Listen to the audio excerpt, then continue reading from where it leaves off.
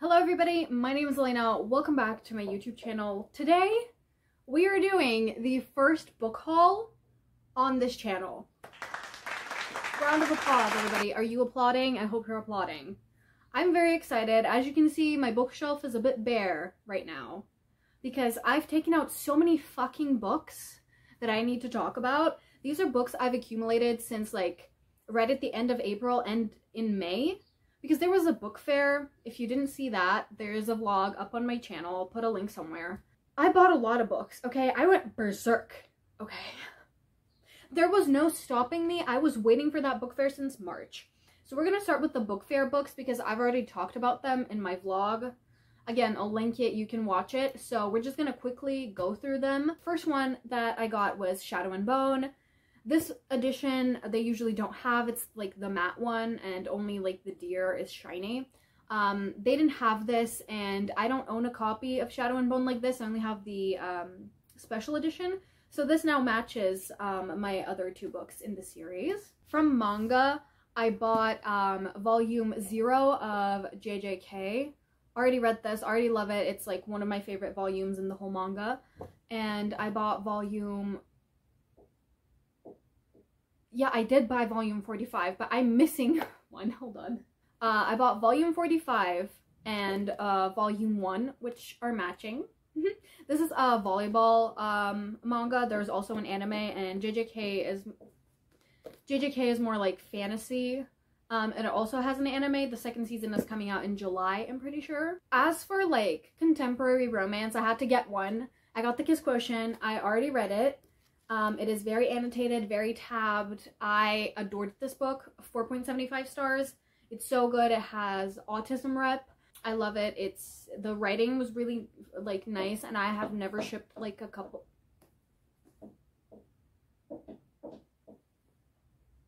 The writing is really nice. I've never shipped a couple faster than this. It's it's so good. Go read it. Um, this was the Holy Grail. Chain of Thorns by Cassandra Clare. It was amazing.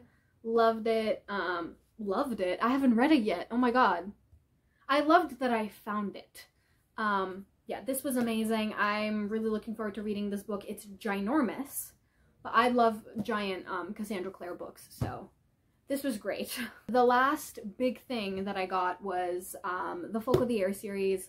I've been wanting to read it. My friend has been raving about it, so I just went ahead and bought the box set. I was like, even if I don't enjoy like the first one, for example, and don't want to continue reading the other ones, they're going to look beautiful on my shelf. Those are the book fair books. That's all we're going to talk about, these ones. And we're going to move on to the other huge pile of books that I have next to me. Um, can I stack these? You can't see them yet. I will try stacking them so you can see them at some point. New edition, another big, big addition to my book collection is the Percy Jackson box set okay, I originally wanted the other covers, okay? I didn't want these covers. I wanted the really pretty ones, like the ones that match up when you put them all together. We don't have those. We only have the fourth, fifth, and sixth one of those. Fourth, fifth, and sixth one of those. But not the first and second. I don't want to order the first and second from anywhere else because these books go for so cheap in my country. It's like ridiculous. So I just got this box set. I was like, at least they all match and it's fine. I don't care. I don't mind these covers. My friend started reading them recently and she really likes them, so I'm very excited. Um, let's take them out and I'll show you all of them. Uh, first one is The Lightning Thief. The second one is The Sea of Monsters. The third one is The Titan's Curse. Um, the fourth one is The Battle of the Labyrinth. And the last one is Percy Jackson and the Last Olympian. There we go lovely, beautiful. Can't wait to read them. I'll probably read them during the summer because they're like kind of middle grade, so they're really easy to read. They're really funny, um, or so I've heard, and I'm very excited to just binge them. Yeah, see, you can slowly see them. Next series that I've started, The Raven Cycle by Maggie Stiefvater. I have The Raven Boys, um, The Dream Thieves, which is the second one, and Blue Lily Lily Blue, which is the third one. This one I read, I gave five stars. It's my most annotated and tabbed book that I own, besides Damage Like Us. Like, I don't think anyone's beating that. Like, like you look at that book and you see that it's well loved.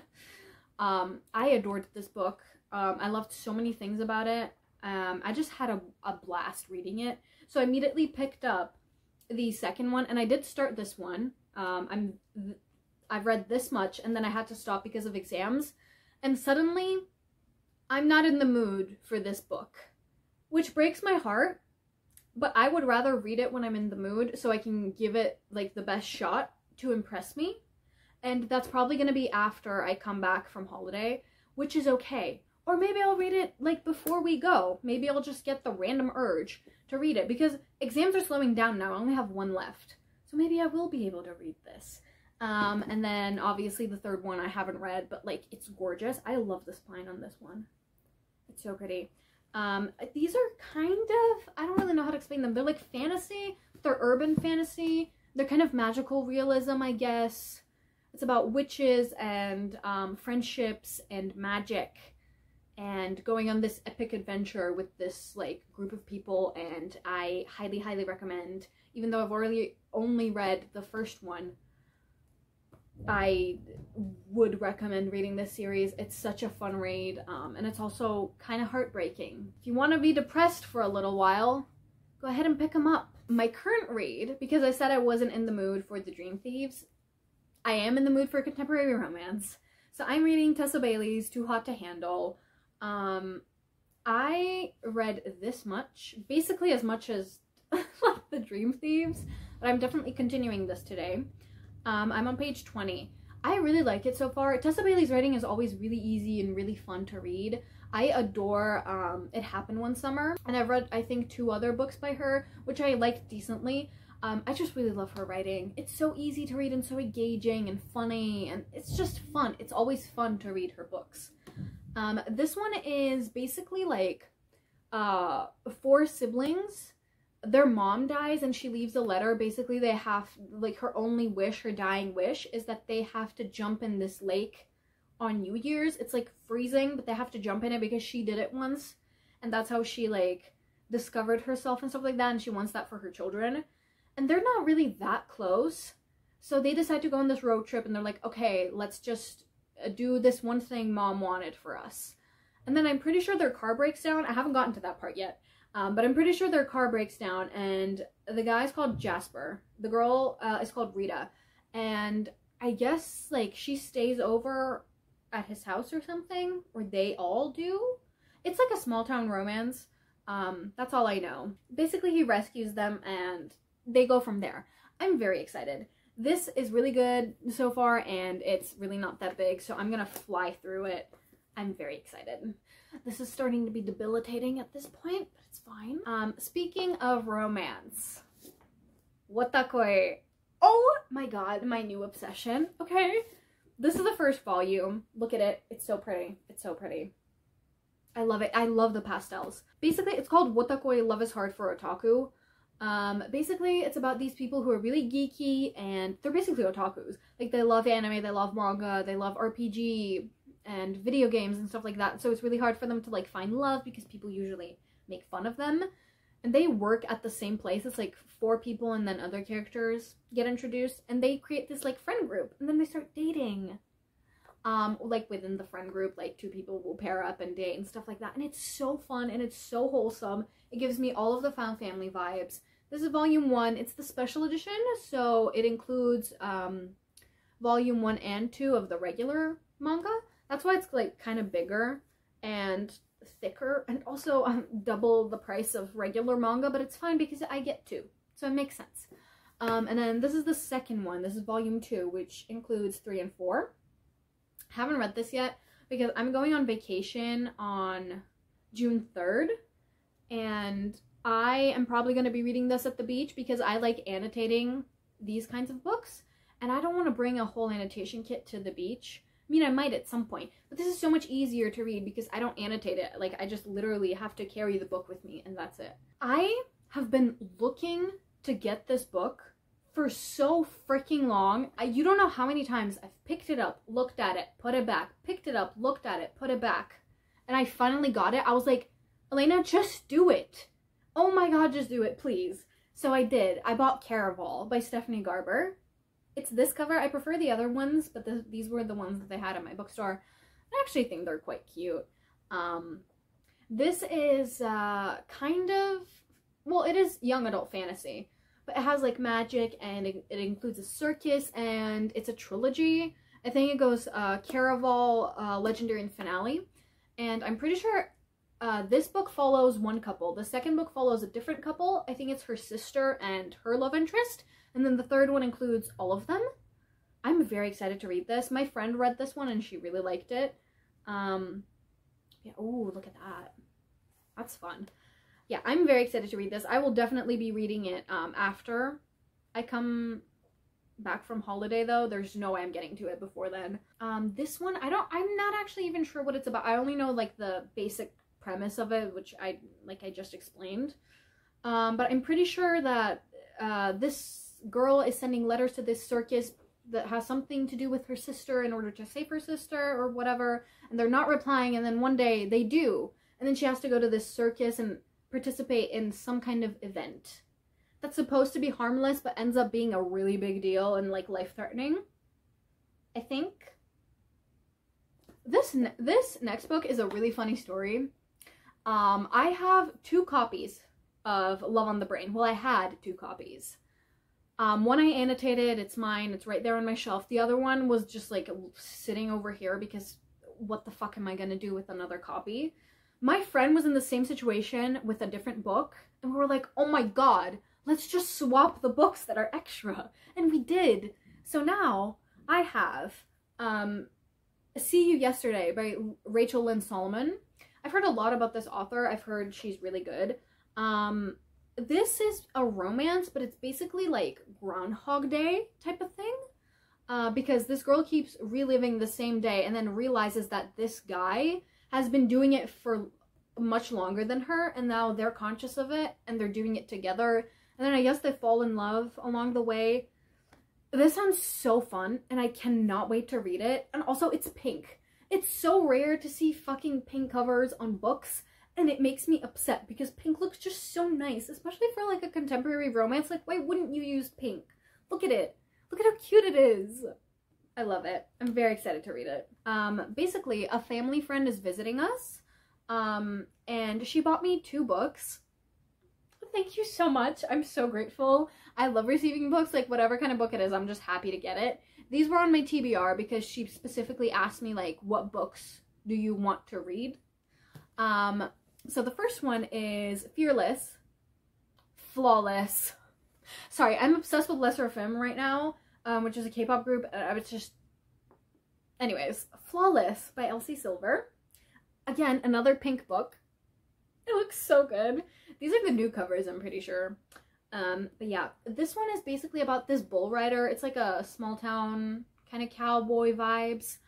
Um, this bull rider basically fucks up his reputation uh, to the point where his agent is like, I'm sending my daughter over so she can handle things and keep you under control, but I think she has to live in his house. And it's like forced proximity. I'm pretty sure it's Grumpy Sunshine, and it's like small town, but also kind of forbidden romance because, you know, it's his agent's daughter. Um, I'm very excited to read this. I'm probably, this is probably going to be the other book that I take on holiday with me. Also, like the, the chapter pages are gorgeous. Let me just, hmm, freaking find one. Look at it. It it's like it's so pretty. I love it. Um, I'm very excited to read this. I was tempted to get the other books in the series before I even read this one. I was like, let's not do that. Let's just calm down. so I was like, fine, I'll wait. Yeah, this is what I'm really excited about, and it's pretty far up on my like books to read. I feel like I'm playing Jenga, but with books, but I'm adding stuff instead of pulling stuff out. Anyways, the other book that she got me is The Gilded Cage by Lynette Noni. I have talked about, well, you can't see it now, but it's, it's, it's, you can't see it now, but it's here. Um, The Prison Healer by Lynette Noni. That's the first book in the Prison Healer trilogy. This is the second one. I've already read this one um, before I received the physical copy because I couldn't wait. And I loved it. I gave both books five stars. It is a trilogy, so I need to read the third one. But now that I had a physical copy, I just passed on my annotations onto this book. I love it. I had blocked out how this book ends because it's literally fucking traumatizing. The plot twists in this series are insane. Basically, the prison healer is about this girl who's in a prison and get this, she's the healer, guys. I know, shocking. Um, and then she's basically trying to get out of the prison. And she's just kind of trying to survive and then people start arriving and then she gets these like coded messages from her family from outside. Um they have the like their own code and stuff like that and basically it means like uh keep her alive we're coming. What that means is um her the keep her alive is basically this woman that enters the prison because she leads uh like this group of rebels um and they've somehow captured her and taking her to prison and they're literally gonna kill her uh, because she's trying to like take the crown or whatever. And basically her job is to take care of this woman because her family said so and because they're coming and they're gonna rescue her. And then other people start arriving and then starts stuff getting complicated and it's this whole big thing but it's found family it's young adult fantasy it's amazing characters it's amazing writing. The plot twists are ginormous, incredible, spectacular, never before seen, totally unique. I've heard people say that it has like um like the the plot twists are as good as like the plot twist in Red Queen. I've never read that series so I can't tell you anything about it. I can't tell you if that's true or not. That's what I've heard. And I highly recommend you read it because it's so underrated. I like oh my god, it's amazing. And my favorite character gets introduced in this book.